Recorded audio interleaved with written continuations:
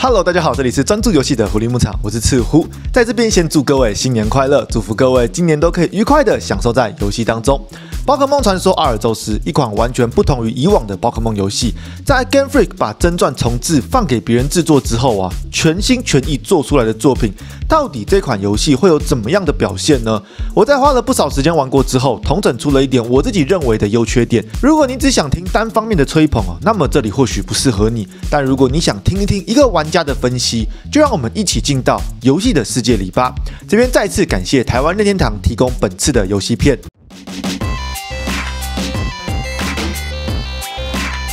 宝可梦系列的游戏呀，最早以本传游戏开始红起来。本传游戏呀，本身是一款回合制的 RPG 游戏，透过捕捉宝可梦成为你的伙伴，并且带着这些宝可梦伙伴一起踏上冒险的旅途，以收集宝可梦图鉴与成为冠军为目标而努力。在这样的体制之下，搭配上当时动画开始风靡全球，让宝可梦这个 IP 走进了世人的眼里哦。也在此 IP 之上啊，做出了更多的变化，包含有格斗游戏、拍照游戏、迷宫游戏等等。但毕竟本传就是。是 RPG 游戏的缘故，在 RPG 上啊，一直以来都没有做出大幅度的变革，主要都是以本传的系统强化来开发，例如新增特性、进化形态、系统调整等等。即使在差别比较大的 Let's Go 上，也依然有本传的架构存在。而这次的阿尔宙斯，就在他们知名的 RPG 类型上，做出了完全不同的变化形式哦。宝可梦传说阿尔宙斯取消了线性的地图，改成区域地图的形式来冒险。我们在固定的村庄当中，不断得到各地探险，并且捕捉宝可梦。不过，虽然更改了地图的模式，但游戏的推进依然是以线性剧情的方式呈现。在过去的世界里啊，人们与宝可梦之间的关系还没有像现代一样彼此了解，并且达到共生。人类还是单方面的畏惧宝可梦。而我们要帮助博士利用自己很会抓宝可梦的能力来调查宝可梦，让人类与宝可梦之间的关系能够更进一步。为了要真的做到调查的目的，并没有办法只靠一只宝可梦就能够做出完整的研究。在研究上，就需要透过多观察宝可梦的战斗，多捕获宝可梦，让调查能够顺利进行。另外，在主角开始帮忙银河队之后，宝可梦的生态似乎产生了一点变化哦。我们的主线剧情啊，就需要努力帮忙解决这些问题。宝可梦本传过去的特色当中，我们可以整理为三大类：剧情、对战、收集。这三大特色凸显了整款游戏的特别，而这三大特色同样也有在这次的阿尔宙斯当中呈现。我在玩这款游戏之前，并没有对这款游戏的剧情有多高的期待，毕竟在地图非线性的情况之下，在剧情的呈现上就会有所限制。但是这次的阿尔宙斯确实在剧情上做出了突破，或者是说它跟上了现代的流行。真正的神兽的代表分别是时间与空间，而我们的主角就是穿越了时空，来到了喜翠地区。宝可梦传说就是一款穿越剧，没有错。而来到这个世界的我们，被发现了很会抓宝可梦的惊人能力。为了能够在这里生存，也为了能够完成阿尔宙斯的要求，我们开始了帮助银河队的旅程。而在我们穿越过来的时候，刚好天上开始打雷，让一些宝可梦进入了另外一种状态。拥有超强抓宝能力的我们，当然要帮助大家来调查这个问题哦。整体的剧情设计呀，搭配上游戏的世界观，让这款游戏在设定上非常有特色。有很多地方啊，都会让你眼睛一亮，哎，原来宝可梦也可以这样搞啊！而在一路上啊，我们接到的一些支线任务当中，还可以看见更多人类想要尝试认识宝可梦的过程与方式。透过过去人们的行为，我们可以更了解宝可梦的世界如今是怎么样形成的，也让这款游戏在剧情上与过去的游戏有所连结，而在地图上啊，也做出了宝可梦的生态。比起随乐拍，这里加入了宝可梦的主动攻击性格、宝可梦的栖息地状况等等，是一款透过剧情与世界观，可以让玩家进入这个世界的游戏哦。战斗啊，一直以来都是宝可梦游戏的一大特色。透过搭配招式、宝可梦属性、特性选择、个体培育等等，让宝可梦的战斗登上了世界的舞台。在阿尔宙斯当中，确实如预期的被拔掉了不少东西，但是相对的也加入与更改了不少东西。在没有了传统回合思考之后，这款游戏利用的是半回合制的方式，让游戏呈现一种半即时对战的感觉。我们的出招顺序啊，不是单纯的轮流，需要考虑到速度带来的行动值，例如。如原本在本传来回对战中的电光一闪，可以强制优先攻击，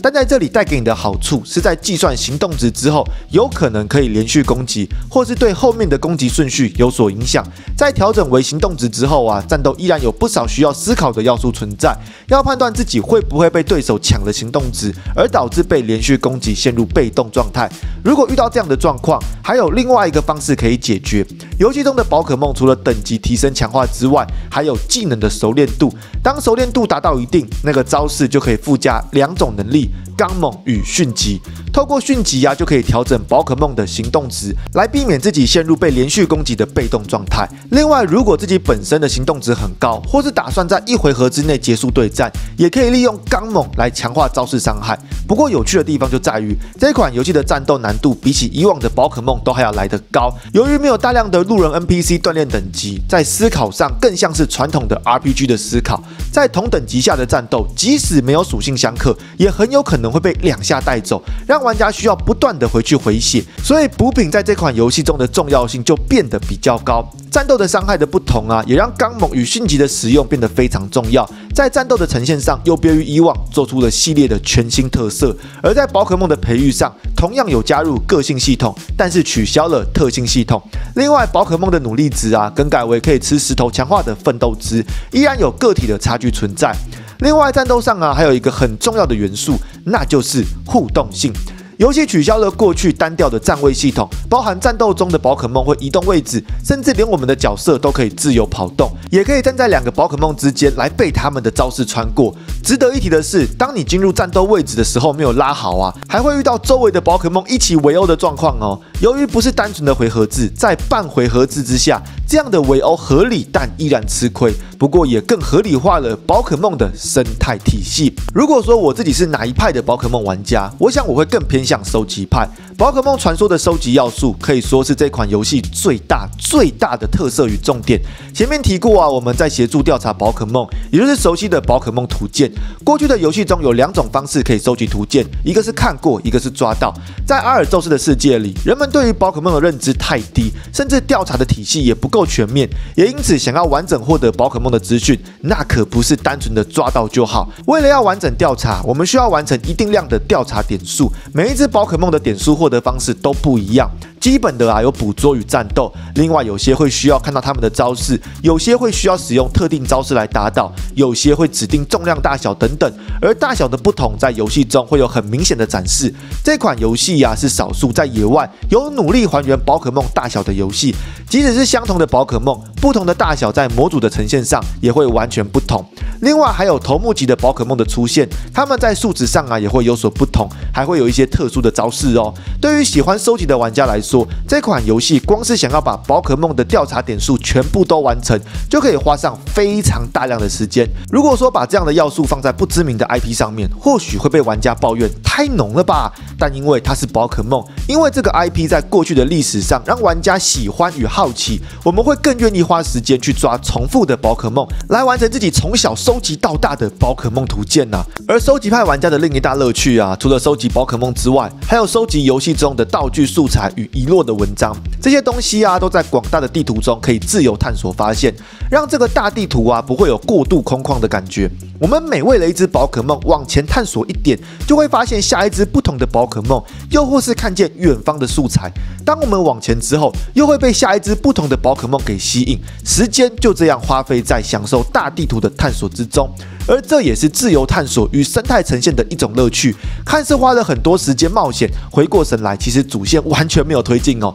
但我们依然收集的相当快乐。如果依照前面所说，这款游戏确实相当耐玩哦。毕竟有大量的宝可梦可以做一样的事情。但问题就在于一样的事情。如果想想旷野之息，你之所以不会感到厌烦，除了同样的探索之外，有的是不同的神庙、不同的解谜与不同的发现。而在阿尔宙斯当中，根据每个人的不同。或多或少，在一定的程度之后，会突然发现自己真的是在重复而已，会在那个瞬间呢失去游戏的方向。我会认为它在主线的推进上依然可以让玩家有动力，但在完整的收集上需要玩家自己本身的喜好来支撑。而另外啊，虽然说游戏的整体剧情世界观很棒，穿越的方式也跟上了时代，但在文本的代入感上确实存在一些问题。例如，大家都害怕宝可梦，但他却说在远方的阿罗拉，人们已经骑成宝可梦了；或是其实我们没有做什么，但 NPC 说我们不惜做到这个地步，让他很感动。另外，还有人们想要与宝可梦共融，但却把小泉石当成自动腌菜石来使用哦，已经不确定是共融还是奴役了哦。在文本的代入感上，不能说是粗细，因为根本没有进去。但如果是以有趣的角度来看，确实很多地方写的相当闹事。战斗上啊，虽然做出了变革，但或许是因为少了沿路的对战，少了道馆的挑战，少了冠军的目标。游戏在战斗上的需求啊，其实不算太多。例如玩宝可梦的对战，对于会玩动作游戏的玩家来说，可以全程不需要派出宝可梦战斗；对于很会玩偷袭的玩家来说，所有的宝可梦都丢球就好。而这也造成了游戏中的战斗看似变化，实际上弱化的一大原因。如果要我说对近期宝可梦游戏的看法，只看 Game Freak 做的游戏的话，那那么宝可梦剑盾是在对战上做出了特化，让玩家快速通关、轻松培育，进入到级别对战当中，享受的是与别人在战术上的较量。而阿尔宙斯则是收集的特化，让喜欢这个 IP 的玩家能够透过自己的冒险来观察宝可梦，来认识宝可梦，并且完成史上最难收集到全满的宝可梦图鉴。而那份成就感，比起过去的全图鉴完成还要来得更加舒爽。至少我自己正在往这个方向努力者。整体来说，这款游戏我会说它是一款很棒的 RPG 游戏，满分十分，我会给出九分的好评哦。它好玩、有特色、有创意，但也如我之前所担心的，对部分玩家来说，它相较于本传没有那么耐玩。另外，因为确实有动作闪避的要素存在，看到有不少玩家在打王宝可梦的时候卡关，我没办法完全断言说不适合动作苦手玩家，但确实在极少部分的游戏中，你们会需要一点练习才可以顺利通过。另外，还有一些玩家有遇到部分闪退的问题，这个相信游戏公司会透过更新来调整哦。不晓得各位喜不喜欢《宝可梦传说：阿尔宙斯》这款游戏呢？你们玩到现在的心得如何呢？另外，还没有买的玩家，你们比较担心的点在哪里呢？欢迎留言分享哦。那这次的影片呢，就到这里结束了。如果你喜欢我做的影片，我还有其他的影片可以看哦。我是赤狐，祝各位游戏愉快。